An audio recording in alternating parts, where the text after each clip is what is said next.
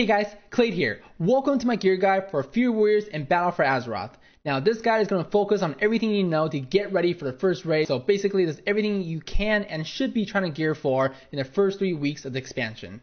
Now, uh, the gear I want to mention in this guide is going to come from the dungeons, the 10 new dungeons within the expansion, but there is one piece of gear called Kraulok's Claw that does come a world boss called Dunegorger Kraulok. Now, I don't exactly know how the world boss mechanic is going to work in Battle for Azeroth, if it's going to be the same as Legion or it's going to be slightly different, but whatever it is, if you're going to see this world boss up, try to get him, try to get this trinket because it is definitely going to be the best in slot trinket in expansion. You can kind of see here are kind of some sims you can see uh, so with the claw on, it is much higher, right? The top, whatever iteration of it is with the claw, it's around what 400 DPS higher than the next trinket. So definitely try to get a trinket if you can. Now, of course, if you cannot and you can only get gear from the dungeons, here is the best in slot gear you can get from dungeons before the raid comes out. Now, don't worry about trying to memorize all this really quickly and taking a screenshot. I will share with you guys um, this link to my Excel file that does have all the you know best in slot gear, has a name, has the dungeon you can farm them in. Go ahead and farm away on these items. I do want to note on here um, the talents that I did use right for the Sims. It's going to be Endless Rage, Double Time, Sudden Death, War Paint, Carnage, Dragon Roar, and Anger Management. I've simmed around with the talents. Sudden Death and Furious Slash with this gear setup is kind of even. I think it's kind of just your preference on which one you want to play. I do prefer Sudden Death better, so I don't have to worry about Furious Slash. So, but if you wanted to, uh, you could try out Furious Slash a little bit with this build, but I still recommend Sudden Death. Now, as far as for pinpointing exactly what piece of gear you guys should be farming for, it's kind of this these gear you see here highlighted. It's going to be the weapons, the helmets, the shoulders, the chest, and the trinkets. Those are going to be the items you really, really want to focus on and get those geared as much as possible. If you're ever thinking about what dungeons to be farming, right, try to do these dungeon choices. Choice number one, you want to get those geared, especially the dungeons that you can farm over and over. So basically, King's Rest and the dungeon called Siege of Boralus. Those are the two mythic only dungeons that you're only going to be able to do on the mythic difficulty, so you can't just spam them in heroics. But all of the eight other dungeons you definitely can.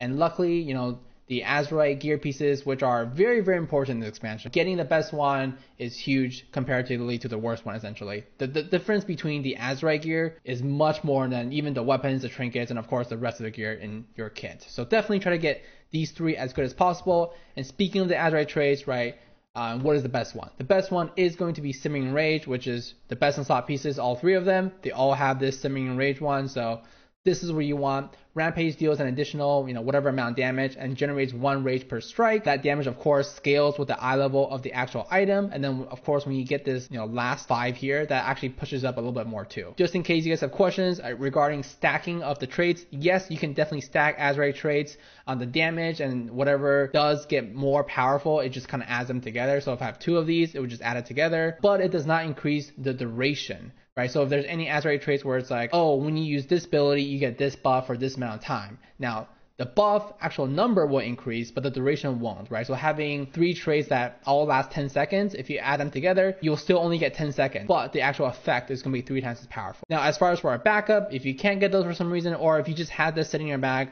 the second best trade right now is going to be Reckless Flurry. Auto attacks deal an additional X amount of damage and reduce the cooldown of Recklessness by 0.1 second right? So both of these trades are basically still going into that gameplay of, you know, carnage and anger management where you're basically spending as much rage, generating as much rage as possible, just trying to reduce the cooldown of your recklessness as much as you can, just spamming out those rampages. So both of those trades are going to work out there for that, but the other one, simmering rage, is going to be better. Now, as far as for the weapon, obviously this does come from King's Rest, so you can only farm it, you know, once every week. So if you can't get this, you know, what are the other ones you can go for? This weapon from the Mother Lode is going to be the second. So if you can't get this weapon every week, then you can always farm Mother Lode, then you can farm Freehold for the next one, and then the last three here, the Siege of Boralus one, the Underroot, and I guess another one from Siege Boralus. They're kind of below it, but the weapons aren't that different. So if you can't even just get two of the Electro Arm Bludgeoner, you're totally fine. You know, if you get two of the Jewel Shark Splitter, you're totally fine. So don't worry if you can't get this one right away. You know, you'll know when Mythic Plus comes out,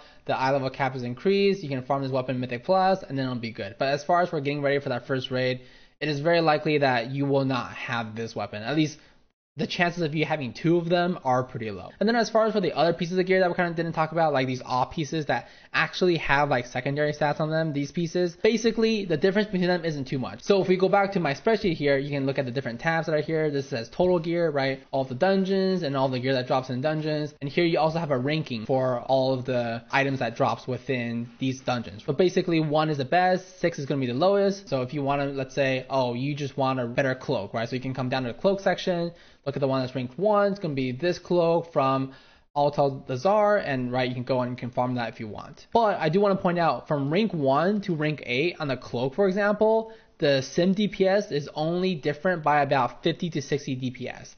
So it's okay if you have like the worser one. So that's why like you don't have to focus too much on trying to farm those as possible, right? Just try to farm right these um, things, and then you'll eventually get the off pieces just by being in here. Uh, but of course, once you get the max eye level of all of these, then you can go ahead and farm the other stuff later on. And then lastly, of course, we have stat weights. Basically, your secondary stats, right? Haste is going to be the most important secondary stats, you know, with this current best in slot gear setup. And then you have your mastery after it, and then you have crit, and then you have versatility, and you have strength. Strength actually comparatively to Legion isn't even that bad, but the dominance here is going to be the haste. And when you guys take a look at the gear and you hover over like all these pieces that have secondary stats, you are gonna see that they all have haste on them. I don't think there's a single piece in here that doesn't have haste, which is just like a testament to how strong it is currently right now at the beginning of the expansion, right? Well, it might change later on, but currently it's the best. For example, the best in slot rings, right? You have one that's haste crit, you have one that's haste mastery, and I'm pretty sure the third best in slot ring is actually haste verse. So Haste is definitely the go-to one right now, right? You can gem it, you can enchant it, whatever it is after that. But hopefully this video is helpful for you guys on your journey to get more geared, do as much DPS as you can in Battle for Azeroth, and I hope you guys good luck because there's going to be a lot of personal loot in this expansion. Hope you guys all get that bleed weapon, and let's all do really great DPS. And as always, thanks for checking out the video guys. Feel free to subscribe to see more. See ya!